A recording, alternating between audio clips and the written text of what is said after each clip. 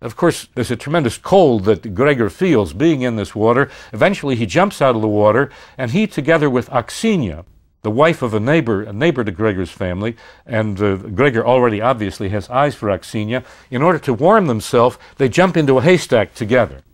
Uh, Gregor's enamored of the lady, and other things might well happen, but uh, suddenly the arrival of his father makes him jump out with his body steaming partly from the Don water and partly from other causes. Gregor's father is terribly worried about his son's attraction, knowing full well the trouble and disorder such an affair can bring into the small and well knit fabric of the Cossack village. Aksinia has been married to Stepan Astakhov, who treats her uh, with terrible cruelty in the traditional Cossack way, all the more so because it turns out that she was not a virgin. Uh, uh, when, when he was married, what had happened was, as a very young woman, she had been raped by her own father in a, in a drunken orgy you get some notion of the primitive and terrible quality of certain aspects of Cossack life in this story.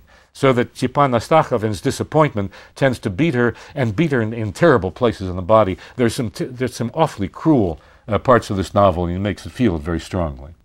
Well, Gregor's father is determined to put an end once and for all to this blasted affair, which can get him in all kinds of trouble, not only with his neighbor, but with the total Cossack village. After all, things have been, in, in as I said before, things have been stable for a long, long time. This kind of thing is uh, only guaranteed to upset any kind of stability that would uh, occur in the uh, village. So he go through a marriage broker, broker he goes to a, uh, another Cossack family by the name of Korshunov and finds a young woman, Natalia Korshunova, uh, whom he, deci- he decides he will marry his son Gregor to Natalia Korshunova. And Gregor is still enough of a member of the Cossack tradition that he realizes he has to do what his father says. So what we have is a description of a traditional Slavic wedding, a traditional Slavic Cossack wedding, is described in delightful and colorful detail. Sholokhov obviously has a tremendous attraction to this society, and the, the colorful nature of the wedding is something that is enormously attractive to the reader. But Gregor is determined that uh, although he may well be married to Natalia, he's not going to uh, stick to her the way a good Cossack should. He's going to continue the affair with Aksinia, and of course, this continues to cause a tremendous amount of trouble in the Cossack village. Gregor is, after all, now a married man. This is something that just isn't done in the Cossack society in showing us the uh, colorful nature of the Cossack society that Gregor is about to abandon, Sholokhov shows us another aspect of the Cossacks, which is probably the most attractive aspect of the entire Cossack culture, namely the Cossack music. The traditional Cossack basses, the traditional Cossack tenors, sing in a way that is, uh, has a very, very special quality and has a kind of depth of feeling that you rarely feel among singers, even among very, very good professional singers. And there's a uh, traditional song that they often sang that uh, is based on an old uh, military metaphor about a warrior who goes to a battle as if it were a wedding, and of course, the bride whom he's espousing is death. It goes something like this. Черный ворон, черный ворон, что ж ты, что ж ты вьешься надо мной? Ты добычи не дождешься, черный ворон, я не твой. This dark raven, dark raven, don't, don't circle over me, I'm not yours. Черный ворон, черный ворон, ты лети, лети ко мне домой. Передай моей невесте, что я женился на другой. Black raven, black raven, fly to my home. Tell my would-be bride that I've married another. Сабля востра была свахой, угощал, гощал каленый штык.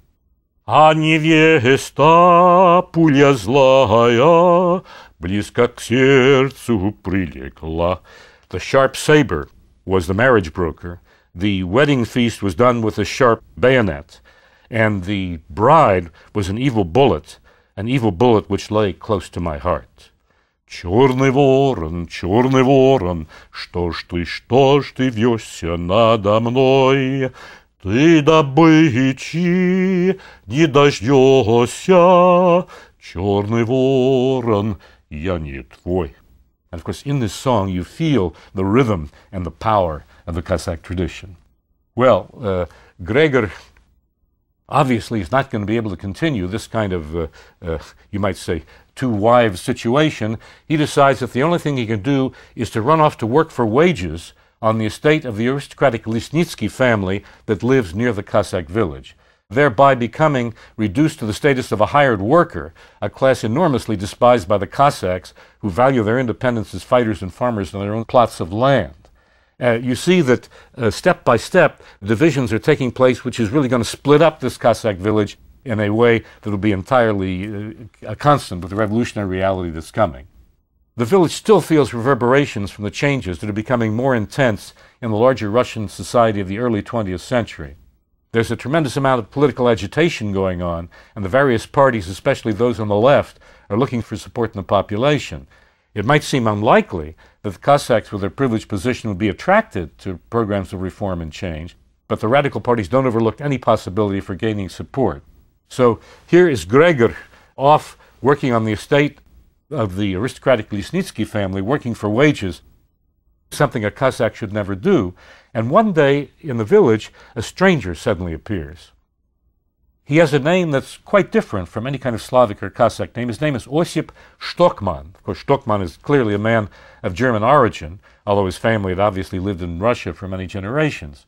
He asks his Cossack driver many detailed questions about life in the village and says he's come to set up a locksmith shop in the village. He was formerly a factory worker in Rostov, the major city in the Cossack region. It becomes immediately clear that he's a member of the revolutionary Party who's been sent to the village to see what he can do, to see what he can do to garner support. And no sooner does he set up shop than he invites many of the poorer Cossacks to his house for tea and card playing, and that quickly turns into reading and lectures about the historical origins of the Cossack community. And the Cossacks are enormously surprised to learn that, as a matter of fact, they themselves are descendants of serfs course, they didn't know this because their own tradition was that they were free people owning the land. In the beginning, they resent the statement because it seems to make them part of the peasantry whom they hold in great contempt. But the accurate historical knowledge does begin to seep in, and this too is another part of that wedge which is separating a society. And you have a scene shortly after his arrival where both the Cossacks and Ukrainian peasants who live in villages not far from there have brought their wheat to the same mill for processing, for grinding in the mill. And an argument erupts about their places in line waiting for service. The argument leads to nasty words, nasty words lead to blows, and soon there's a threat of a real physical, uh, violent fight between them. And in the midst of this fight, suddenly one of them says, "Look, let's burn down the mill." And they even get they even set some material burning which they want to throw onto the mill. Of course, the burning of the mill would be a terrible thing for all of them. And suddenly, a man whom none of them have previously seen in a black hat suddenly steps into the breach, and lo and behold, it's Stockman. And of course, with a smile on his face, with impressive gestures, he addresses the Cossacks as countrymen. He calls them fellow Russians. Of course, they say, look, we're not Russians, we're Cossacks. And people descended from the same class and stock as the Ukrainian peasants. The Cossacks are shocked by this, because, of course, they look down on the peasants. They think the peasants completely separate from themselves. But Meanwhile, in the course of the shock, in the course of their reaction to it, they forget the fight, the moment of peak stress has passed, and serious mob violence has been avoided. What could have been a terrible, bloody fight between the Ukrainians and the Cossacks and the burning down of a mill turns into a peaceful scene. And of course, the novel is obviously making clear that leftist radicals had a program that stressed ideology over nationality. The Tsar had wanted to unite the empire with the idea of nationality, but as far as the, the Bolsheviks were concerned, nationality didn't count, it was ideology that counted. Well, of course, when the police get wind of what's happened, they call in uh, Stockman for questioning, and it turns out that previously in Rostov he'd been in prison for dis- inciting disorders. At first they think he's a Jew, but they soon realize he's not Jewish. You notice how they immediately assume that anybody who did this would be Jewish. And the police tell him, look, get out of the district. They have no use for a person who stops violence between nationalities and tells the truth about history. This is not good for the Tsarist regime. And near the end of the first part of the novel, Stockman is arrested and deported under police guard. And the local people are amazed to see somebody who actually has the nerve to challenge the authority and the power of the Tsar himself. This makes the reader understand that there are large forces in motion which are going to make terrible rents in the fabric of a village which has been so well and organically integrated over so many previous generations. Finally, of course, the major step in the actual destruction of the village comes with the onset of World War I. with Russian forces fighting against the armies of Germany and Austria-Hungary. These countries are industrially and technologically far in advance of agr agrarian Russia.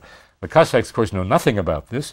They expect that this military campaign is going to be parallel to all of the campaigns they fought in the late 19th and uh, even early 20th century. They have no idea that this is going to be a much more mechanized war. It's going to turn out very differently from what they expected.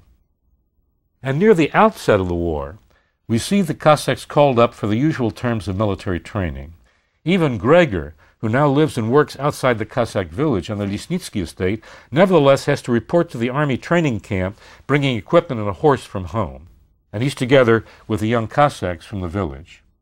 The picture we get of the officers is one of a very different class from that of the Cossacks. Lisnitsky, the son of the man who owns the estate where Gregor works, is one of these officers.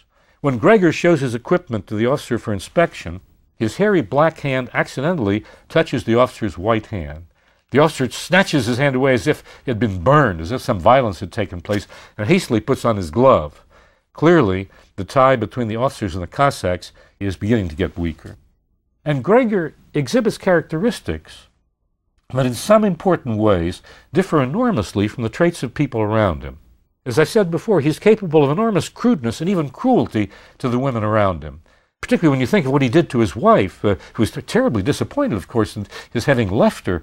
She was, after a, a, loyal and a faithful wife, somebody who had done everything that a Cossack wife should do, and yet he abandoned her. And when he asked her how she was to live, he very crudely sent her and said, Look, live by yourself and don't bother me. Uh, there's something not very admirable about this kind of an attitude. And yet, uh, there are two incidents that make us realize that Gregor is somewhat different from the ordinary Cossack. Perhaps it's his Turkish blood. Perhaps it's simply his own character. But uh, while he's reaping in the field, uh, working with a scythe, his scythe accidentally hits a duck who's been concealed in the tall grass. He instinctively picks up the wounded animal and tries to warm it with his body. This is something an ordinary Cossack would never have taken the trouble to do. In the training camp, we see another one of the awful scenes that uh, take place in this novel. There's a young woman, Franya, whom the men see, and of course the men are away from home and away from women, and their their uh, their sexual uh, yearnings have, have no outlet. And suddenly they decide that they're going to get hold of Franya and have their sexual pleasure from her. And so they grab her, they set her down in a barn for their own pleasure, and what we see is a scene of mass rape, a gang rape of Franya. The only Cossack who refrains from this awful business is Gregor. And not only does he refrain, but he actually tries to stop his fellow Cossacks in an attempt to prevent the rape. This would have been something absolutely unheard of, I think, in Cossack society at that time. He has the moral power to go against his fellow Cossacks, his fellow his friends, and the people who are close to him in order to stop, to stop them from doing something that clearly is horrible. They overpower him, of course. They stop him. They, they put a bag over his head and warn him to, to stay away or, or he'll regret it. But it's clear that he has a very different conscience from theirs. This means that through his eyes, we're going to be looking at coming portentous events quite differently from the way the usual Cossacks would see them. The coming violence of World War I and its revolutionary aftermath will consume the Cossack world with fire and almost total destruction, and yet, in many ways, both large and small, Gregor is going to maintain an unusual sense of humanity and balance, which we're going to be seeing in the next lecture, which will deal with other parts of this novel.